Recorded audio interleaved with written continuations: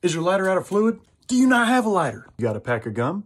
Hell, even Mentos. Strong AA batteries, a piece of toilet paper, and then just any kind of tape you can find. Get yourself a pop tab. Also need nail clippers. Now tape your batteries together just like this, just like so. Now we're gonna take our pop tab, tape it to the bottom. We're going with the Mentos, all right? So all we're gonna do is peel all the paper off. Now we're gonna take this fella and we're gonna fold it down, okay? Just like this. Gonna clip it piece by piece.